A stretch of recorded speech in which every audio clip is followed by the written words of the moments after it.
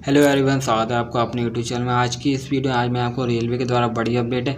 Ticket के लिए जो वेटिंग टिकट है, उनसे रिलेटेड है।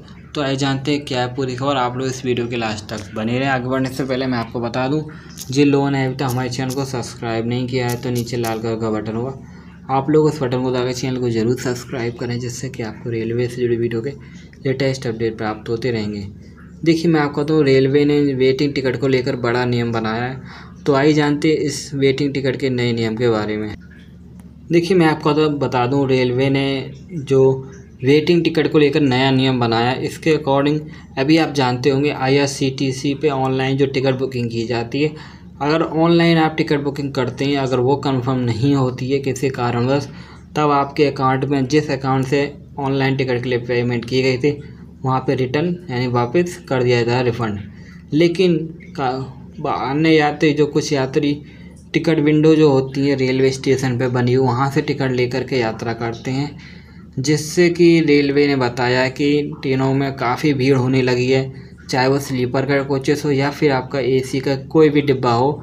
उन सभी में अत्याधिक भीड़ को देखते हुए रेलवे ने फ़िलहाल वेटिंग टिकट को बंद करने का निर्णय लिया है और इसके लिए रेलवे ने यहाँ पे बाकायदा नियम भी बनाए हैं और सघन चेकिंग की जा रही है कि किसी भी यात्री को वेटिंग टिकट लेकर के यात्रा ना करने दिया जाए।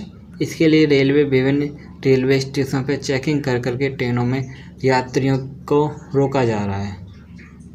अगर आपके पास वेटिंग टिकट और और अगर आपकी वेटिंग टिकट कंफर्म नहीं हुई है तो आप यात्रा ना करें। उस वेटिंग टिकट को आप रद्द करा करके पैसे रिफ़ंड ले लें। देखिए, रेलवे ने कहा है कि जिन यात्रियों के पास स्लीपर की टिकट रहेगी, वो भी वेटिंग में रहेगी, उन यात्रियों से अतिरिक्त किराया वसूला जाएगा और चार्ज भी लगाया जाएगा, साथ ही उन यात्रियों को अगले रेलवे स्टेशन पर उतार दिया जाएगा और उनको आगे यात्रा उस ट्रेन में नहीं करने दिया जाएगा।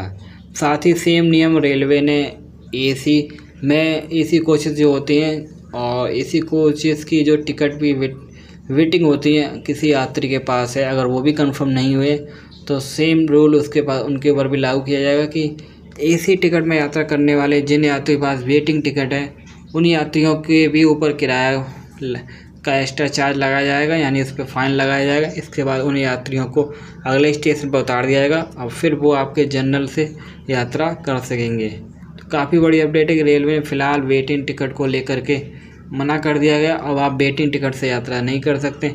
इससे यात्रियों को परेशानी तो होगी, लेकिन रेलवे ने फ़िलहाल इस नियम को लागू करने के लिए काफ़ी कड़ा कदम उठाया है और विभिन्न ट्रेनों में लगातार चेकिंग की जा रही है, स्लीपर और एसी कोचेस में लगातार यहाँ पे चेकिंग हो रही है जिससे कि यात्रियों को रोका जा सके। वेटिंग टिकट को लेकर के काफ़ी बड़ा नियम रेलवे लागू कर दिया गया है। तो आप इस बात का विशेष ध्यान दें, अगर आपकी टिकट कंफर्म नहीं हुई है तो आप टिकट को रद्द करा लें और पैसे वापस रेलवे से ले लें। क्योंकि अगर आप वेटिंग टिकट पर यात्रा करेंगे तब रेलवे के द्वारा अगर आप पे फ़ाइन लगाया जाएगा, इस बात का विशेष ध्यान दें तो काफ़ी बड़ी अपडेट है कि रेलवे स्लीपर और एसी में यात्रा करने वाले वेटिंग टिकट के यात्रियों के लिए अब रेलवे ने यात्रा करना बंद करवा दिया है। तो अब अब वेटिंग टिकट के यात्री माने नहीं रहेंगे, जो आपके स्लीपर और वेट, एसी कोचेस में यात्रा करते थे, विंडो टिकट लेकर के, अब उन यात्रियों को यात्रा करने नहीं दिया जाएगा। ये रेलवे ने नियम बना दिया है।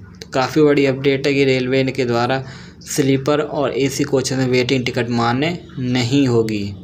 तो ये अपडेट थी वेटिंग टिकट को लेकर के। अगर फिर भी आपको कोई और कन्फ्यूज़न या आप कोई और जानकारी चाहते हैं तो आप नीचे कमेंट करके पूछ सकते हैं।